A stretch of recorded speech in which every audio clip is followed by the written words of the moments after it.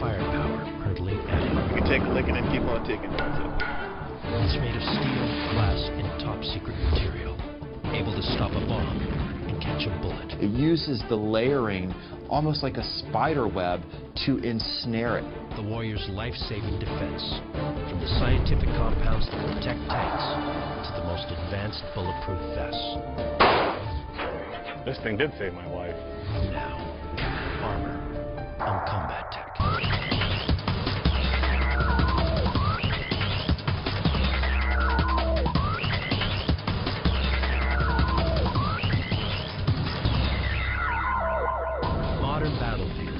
gauntlet of explosive firepower. The most advanced ballistic hardware has redefined war's deadliness. But in war, there's not just offense, there's defense. The countermeasure to bombs, bullets, and missiles is armor. Today's U.S. ground forces are the most well-protected warriors in history. The armor they wear, and which shields their vehicles, is the product of billions of dollars in research and development. Veterans like Steve Tschiderer say it's worth every penny. This is the IBA or the Interceptor Body Armor vest that I was wearing July 2nd, 2005. This inch and a half of Kevlar and woven string saved my life. Tschiderer is just one of thousands of American soldiers who can make that claim. But his experience was different because it was captured on video by the very enemy that placed him in its crosshairs. Usually they're sitting in some type of cover and concealment, waiting for you to come by as a target of opportunity. On patrol in Baghdad, Tschiderer has no clue that an Iraqi sniper is aiming at his heart. When it struck me in the chest, it felt like someone had just teed off with a sledgehammer right in the center of my chest. I thought I was dead. And I was like, wow, this is the last stuff I'm going to see. This sucks. But an instant later, Tschiderer senses an injury may not be fatal. I was like, wait, still breathing? Well, I better get on the other side of the truck. Once I got to that safe side, I had opened my vest and realized that it never penetrated the plate. And uh, what I had felt, what, what I thought was blood, was just the sweat from running around for the last three hours in the Iraqi sun. Tschiderer's survival story has a twist. The sniper who shot him was wounded and captured shortly after the attack. And amazingly, he used his skills as a medic to save the attacker's life. We, we always treat the injuries. You never worry about who it is. If it's friend or foe, everyone's treated the same. Always try to conserve our fighting strength, but when possible, make sure you're also treating the local nationals and any enemy combatants. The plate and the armored vest saved both their lives. It's made of a complex ceramic compound, boron oxide, with a backing made from polyethylene. The same material used to make plastic bags. Together, they form one of the hardest compounds known to science. At this time, the bullet is still in this plate. As you can tell, it's, the round impacted directly above my heart. Uh, if it did not have this plate, it would have passed through and through, and I would have been dead before I hit the ground. Engineers conceived this game-changing armor by building on the legacy begun centuries earlier by their ancient counterparts. The challenge then was the same as it is now, to stay one step ahead of the weapons makers. Prehistoric fighters answer wooden spears with wooden shields. Medieval blacksmiths counter iron swords and arrows with iron shields, and garments made of interlocking iron rings called chainmail, which work well against a cutting blow, but not against a stabbing blow that can part the links. The solution to the sword is plate armor. When firearms enter the battlefield in the 1300s, armorers respond by making entire suits from plate armor. By the time we get to the 1400s, they look like, you know, precursors to the modern day tank. Their entire body is armored. The vehicle on which they're riding, that is the horse, is also armored. And they, yes, are incredibly protected, but they're also almost immovable. Medieval engineers face a dilemma that challenges armors to this day. Adding protection without sacrificing mobility. For centuries, armorers experiment with different materials and designs. Then in 1901, Catholic priest named Casimir Zeglen delivers a pioneering solution, the first bulletproof vest. And it's made of an ancient fiber that's stronger than steel, silk. Zeglen's vest is made of four one-eighth of an inch thick sheets of densely woven silk. The silk in each sheet is layered in several cross-sections. When a bullet hits the vest, the first sheets of silk absorb the impact, slowing it down enough for the final sections to actually catch the bullet before it reaches the body. Best of all, an average size vest weighs less than 20 pounds. Zeglen asks a colleague to stand behind it, which he does, taking several shots to the chest at close range and surviving unharmed. By World War I, weapons makers have developed ballistic firepower that can tear Zeglen's vest to shreds. Armor designers respond with the Brewster body shield, a breastplate and headpiece made of chrome nickel steel. It protects soldiers well from low-velocity artillery fragments and can stop machine gun bullets traveling 2,700 feet per second. But it weighs 40 pounds and restricts a soldier's mobility and vision so much it is impractical. During World War II, weapons makers continued to press their advantage. Firepower eclipses body armor so overwhelmingly that American infantry stopped wearing it. But in the sky, air crews get some measure of protection from anti-aircraft fire with the flak jacket, made of steel plates sewn into nylon. During the Korean and Vietnam Wars, ground soldiers wear modified flak jackets. Armor's age-old dilemma of weight versus mobility makes them problematic. Yes, they could stop some projectiles coming at you, but they were incredibly heavy and bulky. Soldiers uh, who had to maneuver, that is, soldiers who were out on patrol, found them to be so much of a detriment that often they would take them off. The search continues for a revolutionary form of body armor that is bulletproof and lightweight. In the 1970s, a DuPont scientist invents the solution, not for the Pentagon, but for police officers. The answer is Kevlar, a synthetic fiber that by weight is five times as strong as steel it's so strong and lightweight that it was originally used to replace steel belting in racing tires. Kevlar is a game changer for bulletproof vests in that it gives you stopping power, but more importantly, it's light. It allows the person to finally um, wear this sort of new version of a suit of armor, but still be relatively maneuverable in the battle space. By 1985, half of America's police patrol officers routinely wear Kevlar vests. The Pentagon takes notice, and today, Kevlar is incorporated into all the body armor of America's armed forces, including the vest that saved Steve Tschiderer's life. One of the reasons why so many of our troops are surviving now, why our survivability rates measuring killed against wounded are you know, twice as high now as they were in Vietnam. Kevlar is a big part of the reason. Manufacturing the military's Kevlar vests is big business.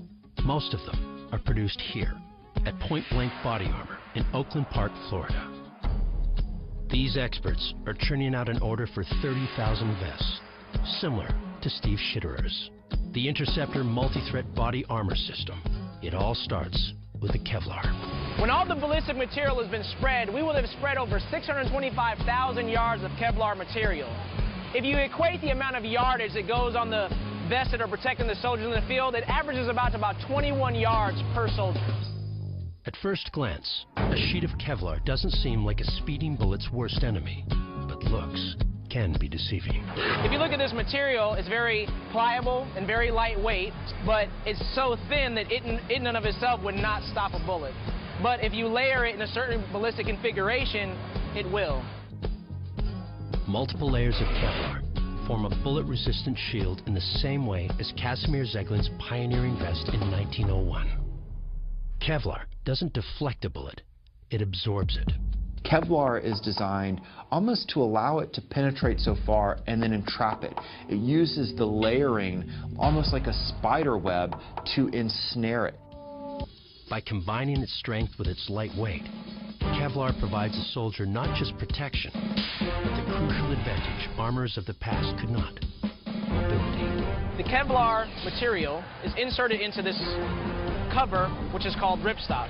And this is one of the 13 ballistic component pieces, which is called the groin protector. As you can see, it's very durable, very flexible, so it allows for soldiers that are running through the field not to have a hard, rigid piece going up against their body. It kind of conforms to their body. Together, the 13 Kevlar pieces comprising the interceptor vest weigh just 8 pounds. But depending on the threat level soldiers face, they can armor up the interceptor by adding ceramic plates like the one that saved Steve Tschiderer. You take your ceramic plate, insert it in, so you have a plate in the front, a plate in the rear, and a plate on both sides. So this protects all your vital organs from high-powered rifle fire. To make sure its armored vests are everything they're supposed to be, point blank conducts routine ballistics tests. Indentations in the clay reveal that even Kevlar can't completely eliminate trauma to the human body when a bullet strikes. The trick is to minimize the trauma to an acceptable level. So what this represents is like a big solid punch. It's gonna hurt, but you're gonna make it through it. None of the bullets fired in this test has penetrated any deeper than the fourth ply of the layered Kevlar. But as effective as Kevlar and the interceptor armor system can be, there is no guarantee that a soldier wearing it during an intense firefight will survive. As much as you are better protected by your armor, that's only where the armor is, you know, present. When you're on the battlefield, you're still incredibly vulnerable. Here, here, and, and to ordnance coming from below. So for all the progress that we've had, yeah, you've got a lot better chance of surviving. But you've still got a lot of places where your body is unprotected. One way to correct that weakness is to make sure the enemy never even sees you. Because if the enemy can't see you, they can't shoot you. That doesn't mean you can't shoot them.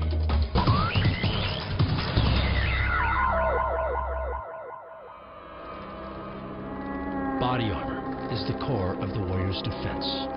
From steel to Kevlar to synthetic compounds, body armor's strength is the key to its life-saving ability against the enemy's increasingly powerful ballistic onslaught. But body armor's greatest strength is often overlooked. Sometimes, the best armor is a good disguise. Camouflage is the science of strategic concealment. Think of it as armor by stealth. If the enemy can't see you, they can't target you. Sometimes the best armor on the battlefield is not being seen at all. If you can't be seen, then you can't be hit. In the modern military, camouflage uniforms are standard issue for soldiers on the ground. But camouflage didn't catch on in a big way until the past century. Before then, armies dressed their soldiers in bright, bold colors so their generals could see them on the battlefield. It allows the commanders to see where their units are. I'm the general trying to see through the fog of war, the smoke on the battlefield, and know that's where my grenadiers are. Okay, that's where my guardsmen are. I'm identifying them in that way. By World War I, firepower had escalated so dramatically that high visibility in combat can death sentence. Soldiers on both sides the. They cover their positions with foliage or chicken wires stuffed with rags to help conceal their own outlines as they peek above the trenches. Some wear helmets with hand-painted schemes that blend in with the surroundings. In World War II, U.S. military planners introduced America's first camouflage uniform, worn by the Marines in the Pacific. It is reversible. One side is marked with spotty blobs of green and brown to blend in with jungle settings. The other side is mostly brown to blend in on beaches. Camouflage uniforms of the next half century follow the same basic premise, which hinges on a curious contradiction that Army engineers and designers at the U.S. Army Soldier System Center in Natick, Massachusetts are working to reconcile.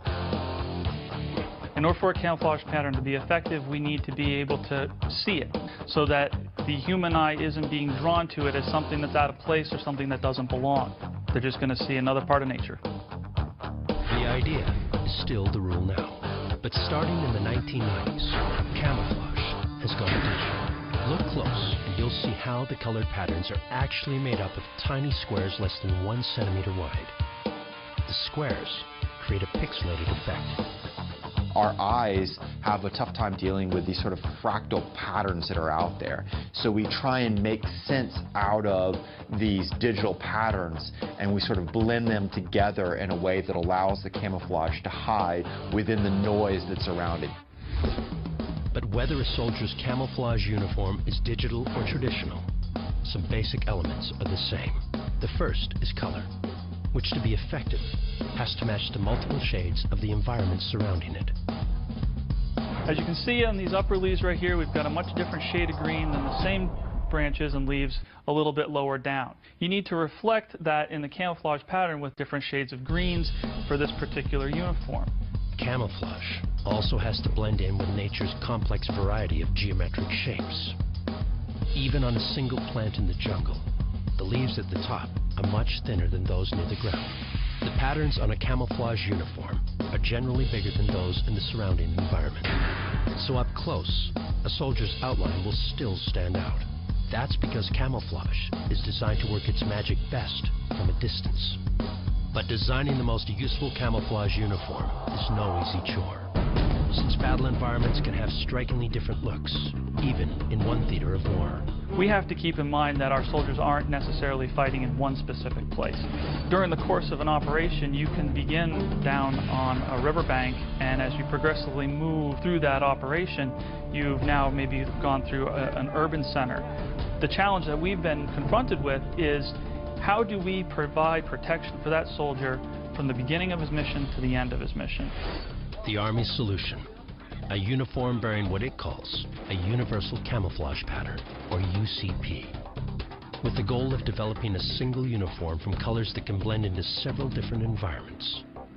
Designers have to deal with a phenomenon known as metamerism, in which colors look different under various light conditions. On the Daylight 75, there's a little bit of a color difference, but they're basically the same color. When I flip to a different light source, such as incandescent, there's a tremendous flare. This one stays on the greener cast, this one flares to a redder cast. Cool white, you can also see the same, it, it shifts in the same direction. For universal camouflage, designers settle on three colors, all found in both desert and woodland environments. Gray, tan, and sage green. Determining how well any camouflage pattern works in war zones takes exhaustive testing. One of the tests that we run is basically a very sophisticated Where's Waldo. Soldiers will sit in front of the monitor, finding the target within the scene. Target is going to progressively get closer and closer and closer to the observer. We're really trying to see what works where and how well. Where camouflage uniforms are an invaluable form of protection for ground troops, no warfighter depends on camouflage more than the sniper just as the sniper instructors here at Camp Pendleton near Oceanside, California. Snipers often have to stalk their targets over several days. To avoid detection, they rely on a unique type of camouflage, a ghillie suit. The sniper utilizes his ghillie suit to such a degree um, in such a critical time to keep him concealed from the enemy. And without it, could ultimately mean death or loss of the mission. Since snipers have to stalk their enemy in their own backyard, their survival depends on more than just blending in. They have to become part of the surroundings. So instead of pixels and patterns, snipers fashion their disguise from the environment itself. The ghillie suit is designed to trick the human eye. It is basically there to break up that outline of the human body that the eye is so accustomed to picking up. Snipers handcraft their own suits one layer at a time. The camouflage uniform and attached to it would be some type of netting, as you can see here. After the netting has been attached, then you would strip this material, burlap sack or sandbag, and it's painstakingly gathered piece by piece until you pull it all out and you come up with a bundle. You find a bare spot, and just tie it in like this. Once their baseline suit is finished, snipers refine it by adding real branches, twigs, leaves, vines, and moss, whatever helps them become indistinguishable from their surroundings. It's truly the natural vegetation that lies within that environment that would allow you to blend in so well. Protecting soldiers with camouflage and bullet-resistant synthetics is one thing. Shielding war machines like this demands armor that's truly.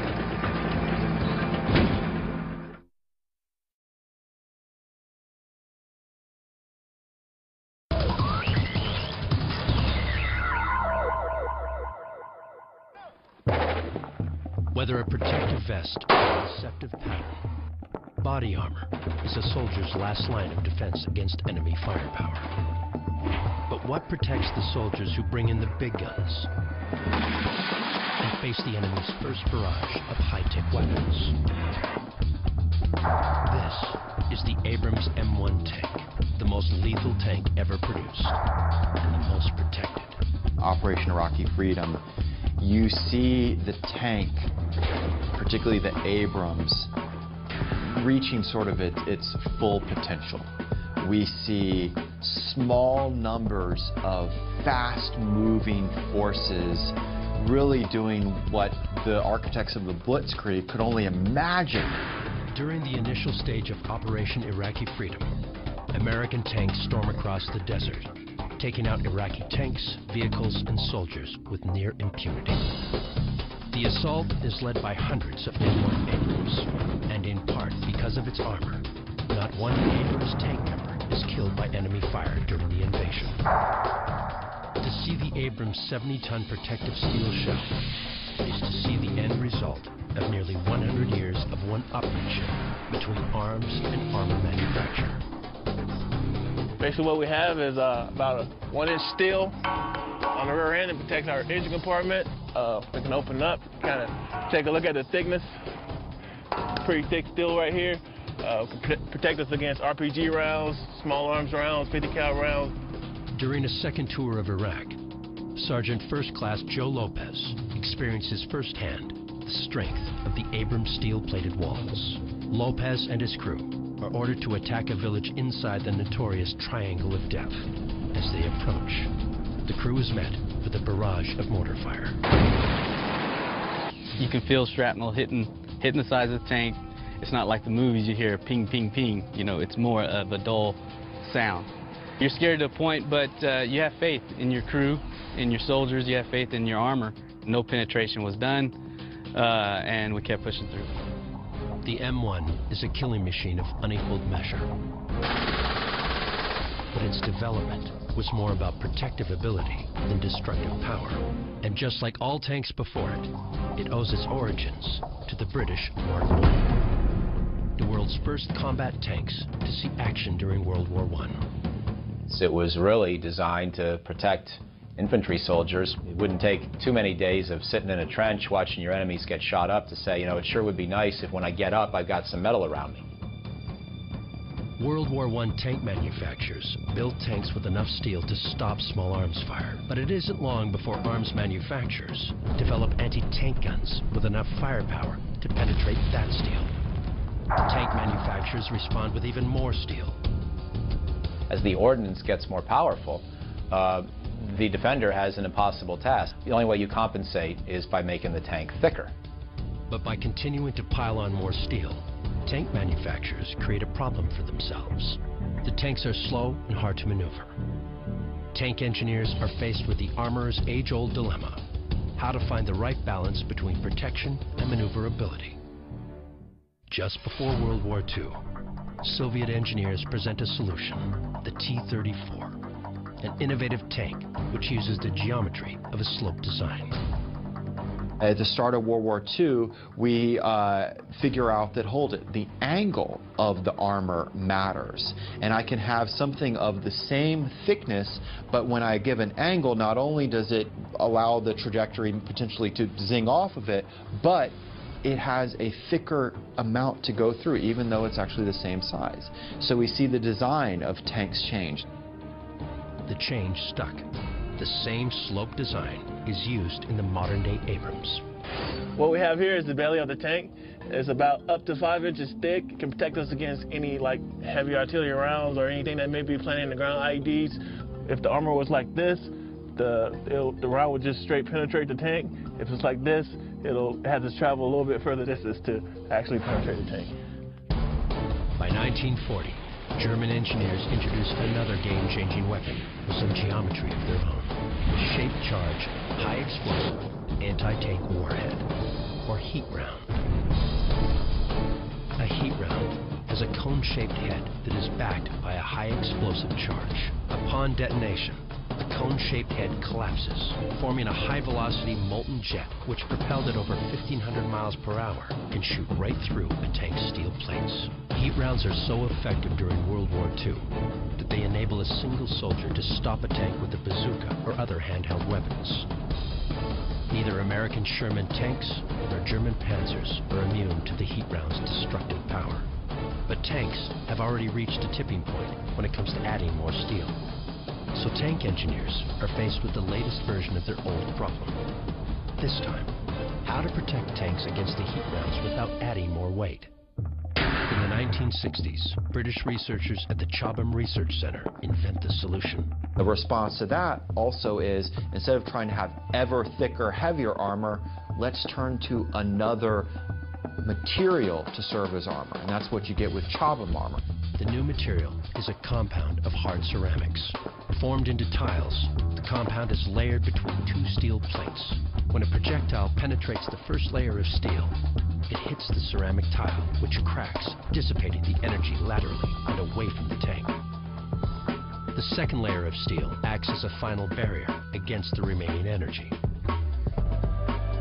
Because the ceramic tile center reduces the amount of steel in regular armor, Chobham armor spurs on a new era of lighter, faster tanks, like today's M1 Abrams. We get back right here, we have uh, a Chobham armor. Open up, we can see how thick it is. It's a pretty thick skirt, pretty heavy. Look right here, you can see the thickness of it. Um, this armor also, uh, if you look at the top, uh, it protects the, the front of the, the turret right here, the crew compartment up here. But Abrams designers don't stop there. They also add a layer of protection made from one of the most dense materials science has ever made, depleted uranium. As we move into the atomic age, we realize, hold it, uranium or depleted uranium is even better. And also, it throws up the problem set of the person who's on the defense, who's the armor. Yeah, I could find something just as dense. I could get my own depleted uranium, except I'd have to be driving around in a tank literally with depleted uranium surrounding it. Instead of surrounding the entire Abrams with depleted uranium, which would add thousands of pounds, engineers encase just the most vital areas of the tank. Once we get about in this area right here, we got uh, depleted uranium skirts, which uh, is pretty thick steel that protects the, the ammunition compartment back here. Continue to move down into the crew compartment inside of here. Also depleted uranium. The combination of Chobham armor and depleted uranium shields the tank against projectiles. But it provides little protection against another weapon, HESH, an acronym for High Explosive Squash Head. HESH uses shock waves, not to go through a tank's armor, but to turn the tank's armor into becoming the weapon itself. Now we're looking at trying to use the shock wave of the munition itself to basically sort of um, literally, uh, there's no other way to put it, shake things to a point of death and danger inside. HESH warheads are thin metal shells filled with soft plastic explosives. When the plastic explosive hits a tank, it squashes against the surface of the tank, creating a wave that moves through the tank's armor. The shock energy then causes pieces of steel from the tank's interior wall to project at high velocity. Those steel particles, called spall, can then tear into anyone inside the tank. The metal will spall off on the inside and go around in the tank like a like a Cuisinart. Not a good day for the folks in the tank. Arms makers counter the spall effect with a kind of bulletproof tank vest that catches the spall. These spall liners are produced at companies like Kinetic in Franklin, Massachusetts. All right, so this is an example of a, a hard spall liner where, where we have a, a layered system or a, a set of uh, a set of different materials which will help defeat the threat of, of the requirement. In here we may have alumina, we may have Kevlar, we may have some sort of a fiberglass, all maybe buried in epoxy, and we put that against the inside of the vehicle. Now we're inside the turret of the tank. Around me, we've got all this thick metal, steel. In addition to that, we also have interior to this, a spall liner. Keeps the, uh, when we get impacted on the outside of the tank, keeps the inside from crumbling, fragmenting, and putting uh, fragments inside the tank to fit into the crew. Today, more than 5,000 Abrams tanks in the U.S. arsenal are equipped with the best armor concepts from the past. Spall liners, Chobham armor, depleted uranium, and a sloped underbelly are all testament to the innovation and adaptability of past armor manufacturers. But with the military intent on becoming lighter on its feet, smaller armored vehicles are now doing more of the heavy lifting on the battlefield. And weapons builders are doing their best to stop them.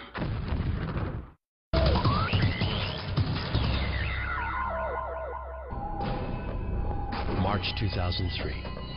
Heavily armored Abrams tanks storm across the Iraqi desert during the initial invasion of Operation Iraqi Freedom. The Abrams help push the fight into the cities, where smaller armored vehicles take the lead against the Iraqi insurgents. This is where the insurgents will make their stand, and it's here that they unleash an unconventional weapon capable of inflicting brutal destruction on both soldiers and armored vehicles alike. IEDs were the weapon of choice for the insurgency in Iraq and Afghanistan. They are easy to build and fairly easy to deploy. You can go to a remote location and when you see a convoy coming, you can detonate it on command and uh, inflict as many casualties as you possibly can. Improvised explosive devices.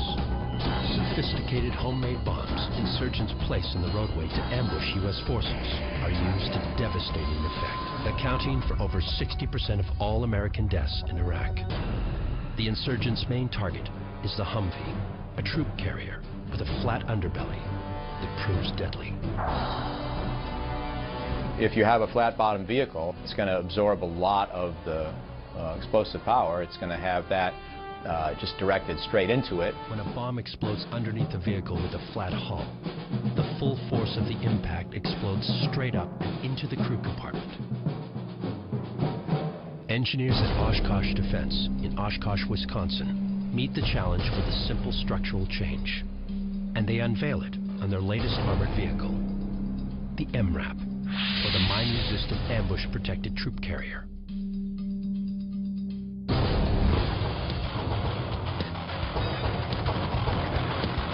The MRAP uses much of the same armor as the Abrams tank, including a thick steel shell and interior spall liners. But the real life-saving innovation is its V-shaped hull. When the explosion from an IED goes up, it'll hit the hole and it'll spread it out, so it pushes it outward so straight up, so the crew doesn't get any trap metal, ball bearings, anything like that that will actually harm the crew. On January 28, 2010, Master Sergeant Doug Merritt gets a first-hand demonstration of the V-shaped hull when a roadside IED explodes underneath his MRAP while on patrol in Iraq. Everything went black, huge explosion, a lot of noise, a lot of debris flying around, a lot of smoke. The bomb's force propels the MRAP several feet in the air. Still, the MRAP's V-shaped hull performs exactly as designed. The V-shaped hull helps dissipate where the explosion blows up and doesn't get it a good hit on any one portion of the vehicle. So even though it actually blew up on the fuel tank, it didn't rupture the fuel tank. The armor on that truck, I know, saved us from getting seriously injured that day. The V-shaped hull provides a level of protection from IEDs exploding from below. But it does little to shield vehicles from another tactic, RPG attacks from the sides. It's a dilemma that prompts armorers to pioneer an entirely new mindset. The thing that's new is the idea of extending the armor, of making it active. That is, a technology that doesn't wait for the enemy shell to hit it and try and penetrate it, but says, no, my best line of defense is pushing my defense out and making it explode before it comes close enough to cause damage. The initial solution is to add thick steel plates that protrude several inches from the vehicle's side. If you push the explosion out a little further, the amount of lethality that's essentially contained by that RPG is limited. Although it proves effective, the add-on steel is an age-old solution with a predictable result. Not only are the steel plates cumbersome, they're heavy. So armor manufacturers work toward a more lightweight solution. This is the unlikely answer. This is the Kevlar netting for our RPG defeat solution. Netting fitted with small metal nodes. These are the metal nodes which actually do the damage. They're working on affixing these to the nets, and once they're on, we've got a full and complete net, and we pack it out to, to meet up with the rest of the kit. Which is a simple metal frame. That's it. Imagine this wrapped all the way around the vehicle. An RPG will come driving in here, and it passes through the netting, and these nodes cut into the cone. It shorts out the fuse, defeats the bomb. It hits the side of the truck, but there's no explosion, meaning that everybody inside still can drive away. At least that's how the netting works during initial tests. When units are sent to the field and assembled around MRAPs, they do not instill much confidence in the soldiers who rely on them for protection. A majority of us, myself included, were very skeptical of you know, string connected with plastic and a metal frame was going to do any good as far as stopping a rocket-propelled grenade. For Lieutenant Matthew Ward, the real test comes in Iraq, where he and his convoy are attacked as they deliver Iraqi election ballots to civilian headquarters. The trail vehicle sustained two direct hits from RPGs, uh, broadside hits. When Ward reaches the trail MRAP, its side is scorched, but not compromised. The RPG simply detonates upon impacting this net. The resulting explosion and shrapnel didn't have enough velocity to penetrate the plate armor. The netting proves a success against low-velocity RPGs. But it's useless against the latest incarnation of this groundbreaking weapon. Explosively formed penetrators, or EFPs. Insurgents place EFPs in the road, like IEDs. Or for an even more deadly effect, mount them at window level to penetrate the side of an armored vehicle. With EFPs, it's their explosive power that makes them so lethal. EFP approach is another way to make the energy of the offensive weapon so channeled that you can actually penetrate through a narrow part of the vehicle's uh, wall and then uh, get inside and go from there. An EFP is comprised of a steel cylinder that is filled with high-energy plastic explosives, which is sealed on top with a concave copper plate. When the EFP explodes, it creates so much kinetic energy that it turns the copper plate into a metal slug that can penetrate several layers of hard steel. The vehicle's pretty much destroyed and everybody in it when you get hit by an EFP. I've seen where it's actually gone through the side of the skirt of a tank, hit the road wheels, down by the hole, and on the other side it went through.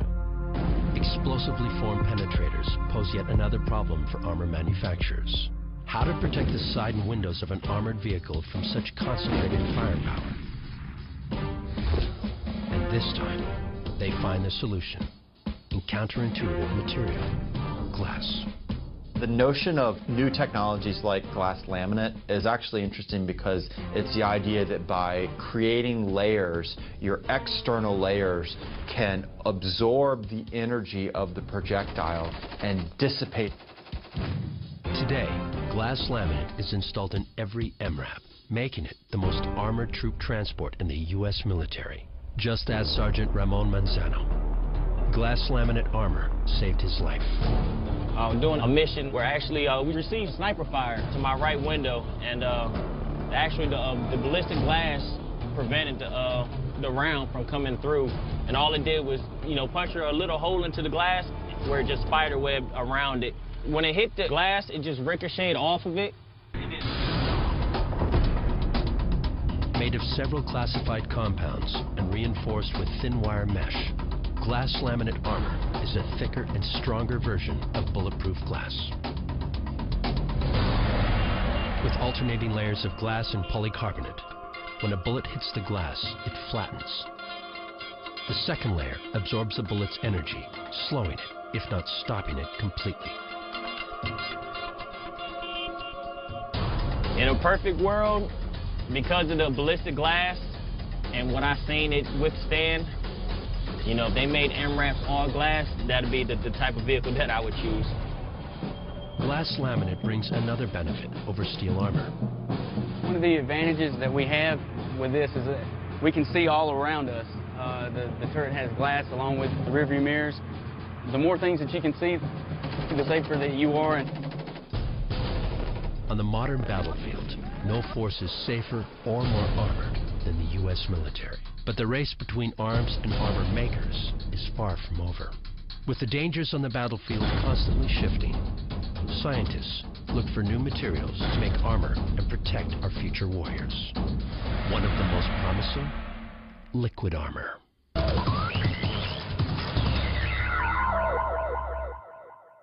Since the beginning of warfare, arms and armor makers have been locked in a centuries-old fight for control of the battlefield. From the advanced materials and basic geometry that shape America's tanks and MRAPs, to the life-saving body armor that protects our ground troops, the U.S. military is an integrated force that is only as strong as its weakest link, as it has been throughout history. One of the interesting things in the history of war is there's always this back and forth, an arms race, so to speak, between the weapon and the armor, the defense against that weapon. And it's everything from, you know, the first spear to then we get leather and then bronze to plate mail to chain mail. And we see the same thing in terms of vehicles. Um, initially, when you see, you know, mobility in the battle space, it's horses and then it's vehicles and then hold it. Can you just keep adding armor? No, mobility. It's the speed of the tank that matters. And so the point being is we've always had this back and forth and that continues today. So the military continues to look for the holy grail, armor that provides total protection while leaving soldiers and vehicles completely unencumbered. I, I do think that just everything we've seen about the ability to direct explosive or other uh, energy into a more concentrated beam does suggest that the defense is going to have a hard time keeping up over the decades. And that the way you win in warfare increasingly is to get in the first shot. In future wars, the first shot is certain to be the most destructive ever. As enemies adapt new firepower and techniques, armor manufacturers must protect against the next war's equivalent to IEDs and explosively formed penetrators. So what is on the horizon? Initially, armor was something um, where its thickness mattered most. And then we get into figuring out layering and new materials. And now we're getting the idea of armor that could even be liquid. One potential way to apply liquid armor is as a full body suit filled with tiny iron particles that are suspended in silicon oil. The suit is wired with an electrical current, which is controlled by an onboard computer system. When a ballistic threat hits the suit, the computer automatically applies an electrical charge, which in milliseconds locks the iron particles together, creating an impenetrable shield. Once the charge is removed, the particles unlock and the substance goes back to a fluid state. Could liquid armor signal the end to the seemingly endless race between arms manufacturers and armorers? When I look back at the history of war, to our most futuristic science fiction visions of war in galaxies far, far away and centuries all the year forward, it's still there's sort of a basic notion of um, action reaction, weapon armor. I think there'll be a healthy competition for many decades to come. For now, American soldiers enter battle as part of the most armored force ever assembled. Many of our warriors can attest firsthand